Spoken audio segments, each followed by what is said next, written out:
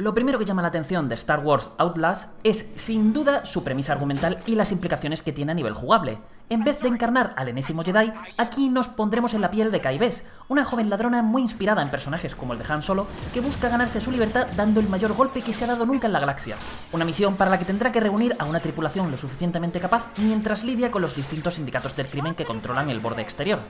Es decir, aquí no hay poderes de la fuerza, duelos de sables láser ni nada parecido, ya que controlamos a una humana normal y corriente. De hecho, Kai no podría ser más novata e inexperta, algo que está muy bien plasmado en la narrativa, ya que no hemos parado de verla meter la pata una y otra vez mientras se mete en numerosos problemas e intenta echarle algo de morro al asunto sin que nadie la tome en serio. Por supuesto, todo esto ha derivado en secuencias y conversaciones muy divertidas que nos han resultado un tanto refrescantes para lo que la historia de los videojuegos de Star Wars nos tienen acostumbrados, algo que se ve reforzado por un elenco de personajes que, a priori, nos ha parecido que tiene bastante carisma. Otro de sus aciertos lo tenemos en el periodo en el que se ambienta la aventura, ya que nos lleva a la época comprendida entre el Imperio contraataca y el retorno del Jedi, una era en la que las organizaciones criminales pudieron prosperar gracias a los problemas que estaba teniendo el imperio para mantener el orden por culpa de los quebraderos de cabeza que le estaba dando la alianza rebelde. Como podréis intuir, pocos momentos mejores se nos ocurren para situar una historia como esta en la que se busca profundizar en los bajos fondos de la Guerra de las Galaxias.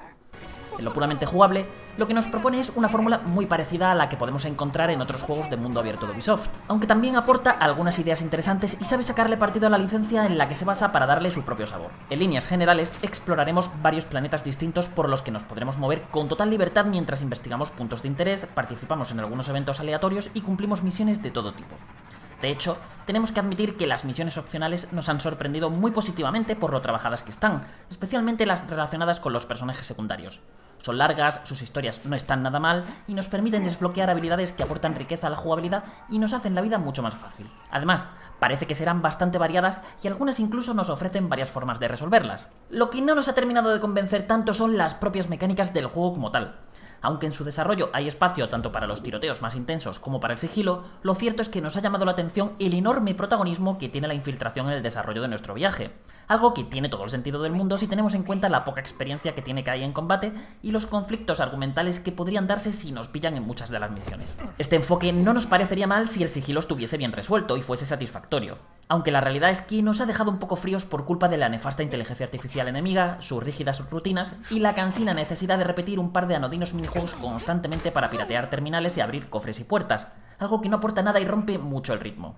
Por suerte, tiene algunas cositas que nos han gustado, como los escenarios en los que nos hemos tenido que infiltrar, los cuales ofrecen varias posibilidades de acción incluso cuando son lineales, con algún que otro momento en el que nos hemos tenido que parar a explorar y pensar cómo sortear un obstáculo que nos impide avanzar. Si bien las acciones de sigilo de Kai son las típicas que podemos encontrar en cientos de videojuegos, como agacharnos, escondernos en zonas de hierba alta, sabotear alarmas y ejecutar enemigos por la espalda de un solo golpe, lo que aporta cierta chicha a la infiltración es Nix, nuestra fiel y adorable mascota. Además de enamorarnos y comerse la pantalla cada vez que lo vemos interactuar durante las secuencias de vídeo, Nix siempre nos acompaña y puede llevar a cabo una gran cantidad de acciones contextuales distintas. Así pues, podemos ordenarle que distraiga a un enemigo, que active un interruptor al que no llegamos, que haga explotar un objeto, que destruya un generador de escudos y muchas más acciones que están predeterminadas por cada elemento con el que podemos interactuar. En líneas generales, el uso de Nix nos ha parecido una especie de versión simplificada de las mecánicas de pirateo de la saga Watch Dogs, y no se puede negar que aporta vidilla al desarrollo de las misiones. Además, gracias a él también podemos activar el equivalente a la típica visión de detective.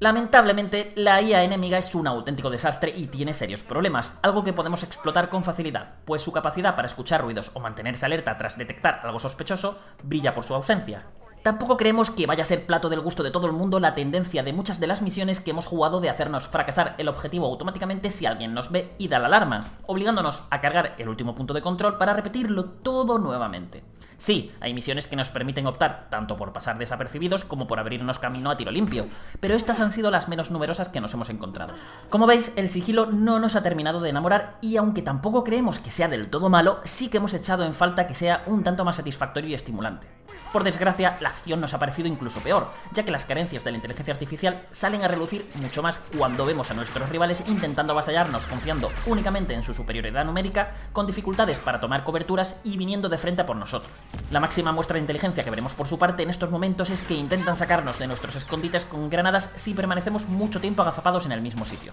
Cuando toca pegar tiros, la mayor parte del tiempo utilizaremos nuestra pistola blaster, la cual podemos configurar con diversos modificadores para tener acceso a distintos tipos de disparos, entre los que podemos alternar. Si queremos usar otras armas, tendremos que obtenerlas en el campo de batalla. Por supuesto, estas suelen ser más poderosas, pero quedan inservibles una vez agotamos su energía. Un pequeño detalle que nos ha gustado y que debería mantenernos atentos a nuestros alrededores intentando rearmarnos constantemente. Adicionalmente, cabe destacar que podemos usar nuestra concentración para ralentizar el tiempo y fijar varios blancos para realizar ataques consecutivos al más puro estilo de Die de Red Dead Redemption. Nuevamente, el encargado de aportar algo de jugo a los tiroteos es Nix, a quien podemos ordenar todo tipo de acciones para ayudarnos a acabar con nuestros adversarios, ya sea utilizando los elementos que veamos en los escenarios para crear oportunidades, distrayendo a un rival o hasta trayéndonos potentes armas a las que no podemos llegar sin exponernos a ser fusilados. La tercera pata de la jugabilidad de Star Wars Outlast reside en las batallas de naves espaciales, todo un clásico de la saga que no podía faltar en un juego como este. De entrada, nos ha gustado mucho la sensación que transmite el título al viajar entre planetas y diversos sectores de la galaxia. Aunque los despegues, los aterrizajes y los saltos al hiperespacio se hacen de forma automática cuando confirmamos que queremos hacer dichas acciones, no hay pantallas de carga como tal, por lo que veremos todo el proceso de entrar y salir de los mundos sin cortes de ningún tipo. Como podréis intuir, el manejo de la nave es muy sencillo y no puede compararse, ni lo pretende, a lo visto, por ejemplo, en Star Wars Squadrons, ya que aquí no vamos a hacer mucho más allá de aumentar o disminuir nuestra velocidad mientras maniobramos con unas físicas que hacen que el pilotaje sea muy arcade. El problema es que esta simpleza también afecta a los momentos de acción a bordo de nuestra nave, los cuales nos han parecido un poco insustanciales, ya que todo se limita a tener al enemigo dentro de nuestro campo de visión, pulsar el botón de fijado y apretar el gatillo hasta que caiga. Lo que sí que nos ha gustado mucho de esta propuesta de Ubisoft es su sistema de facciones. A lo largo de nuestra aventura nos tocará lidiar con los sindicatos criminales que llevan la voz cantante en el borde exterior, y nuestras acciones y decisiones afectarán positiva o negativamente a nuestra relación con ellos. Como podréis intuir, una buena reputación nos dará acceso a diversas ventajas, como que nos dejen entrar en sus bases, que nos ayuden cuando tengamos problemas con el imperio o que nos vendan artículos exclusivos, mientras que una mala puede provocar hasta que manden escuadrones de asesinos para darnos caza, los cuales pueden aparecer en cualquier momento de la partida. Lo realmente interesante es que no siempre será posible contentar a todo el mundo, y muchas misiones nos harán tomar decisiones que nos permitirán granjearnos el favor de una facción a cambio de enfadar a las demás. Esto es algo que se hace de forma muy interesante en el plano narrativo, ya que hemos llegado incluso a recibir llamadas en mitad de un encargo en las que nos han tentado con ofrecernos mejores recompensas si traicionamos a quien nos ha contratado. Todo esto no deja de ser un sistema relativamente simple cuyos efectos se contabilizan con un sencillo medidor, pero ayuda a crear momentos tensos y a sumergirnos en la fantasía de estar moviéndonos por el pantanoso terreno de los bajos fondos de la galaxia. De igual modo, nos vemos en la obligación de aplaudir con todas nuestras fuerzas a la recreación que se ha realizado este universo, consiguiendo una ambientación soberbia que nos ha sobrecogido y nos ha hecho sentirnos como si estuviésemos dentro de una película de la saga la cantidad de detalles de los escenarios, el ambiente de cada planeta, la dirección de arte, los diversos elementos de la interfaz, la forma en la que están dirigidas las secuencias de vídeo,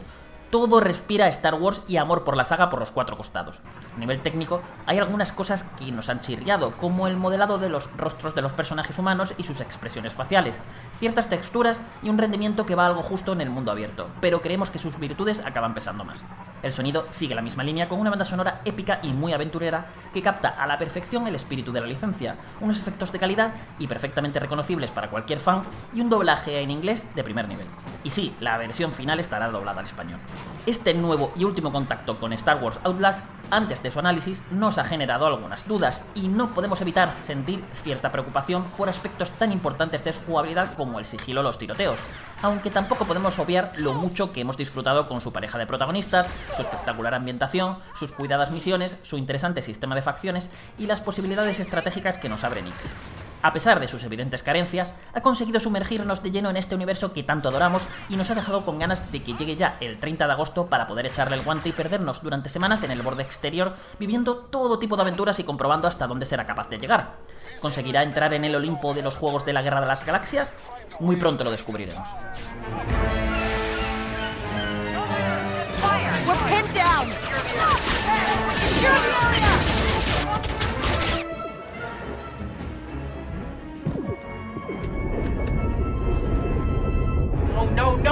Was our way out! Then we'll make another one.